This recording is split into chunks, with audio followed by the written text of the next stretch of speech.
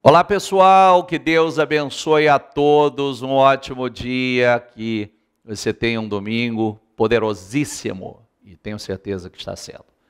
Espero que você esteja conosco, corredor de carros, unção de todos os veículos, concordando com as suas novas conquistas, o azeite, se você não recebeu, vem buscar seu azeite consagrado, unção fresca, para unções frescas e conquistas novas. Tá bom? Esteja conosco. Tem três coisas que, enquanto você estiver nesta terra, você não pode perder. É prioridade. Três coisas. Você perde qualquer coisa, mas não perde essa, essas três coisas. Diz assim: Assim, essas três coisas continuam para sempre. Quais são? Fé, esperança e amor. Por que essas três coisas você não perde nunca? Porque quando você vai para a galeria dos heróis da fé, foi pela fé que Abraão se tornou pai de multidões, pela fé que Moisés se tornou o grande líder que se tornou crendo num propósito, enxergando o visível. É pela fé que as muralhas de Jericó caíram, é pela fé que o Mar Vermelho foi aberto, é pela fé que Gideão com 300 valentes, conquistou um, uma vitória inconquistável. É pela fé que Raabe curou seu destino, é pela fé que Jefité, filho de uma prostituta, se tornou maior, é pela fé que Davi venceu Golias, é pela fé, é pela fé, é pela fé. Então você nunca pode perder a fé. A esperança, a esperança é a âncora da alma. Você tem que estar com a sua alma ancorada na esperança e o amor, que é o maior de todos os mandamentos. Sem amor, você pode vender toda a tua fortuna, dar aos pobres, dar o seu corpo a ser queimado. Sem amor, de nada adianta, tudo isso é inválido. Então você não pode perder essas três coisas.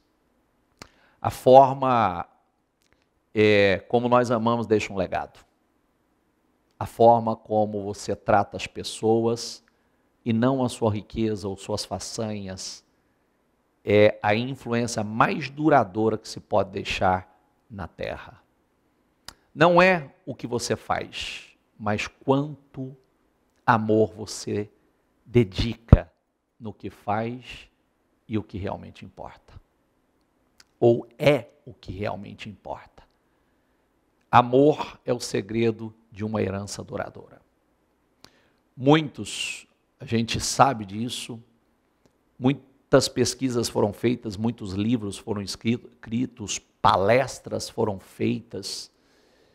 E você pega aquelas pessoas no leito da morte, no limite da eternidade, e você não encontra ninguém que disse assim: traga meus diplomas, meus títulos, minhas medalhas, meu extrato bancário, traga as minhas joias, é, traga aquele carro maravilhoso que eu adquiri.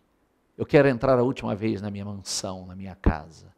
Não, as pessoas dizem: traga-me as pessoas que eu amo. Eu quero ver minha família. Eu quero ver meus filhos. Eu quero ver minha esposa. É isso que acontece. Quando as pessoas estão no fim, não se cercam de objetos.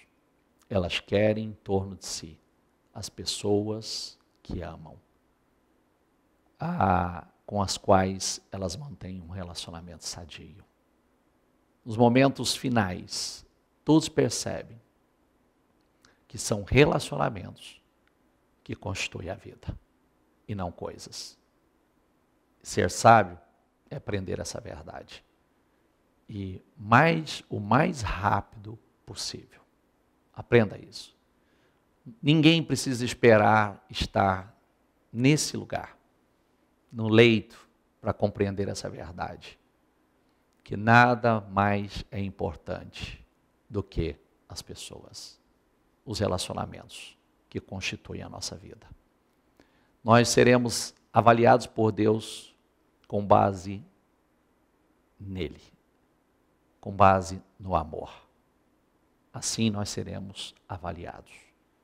Pense nisso e diga: Senhor, me ensina a amar. Senhor, me ensina a amar como o Senhor ama. O Senhor é amor e eu quero amar como o Senhor ama. Eu quero aprender a amar e não de palavras, não de boca, mas com ações.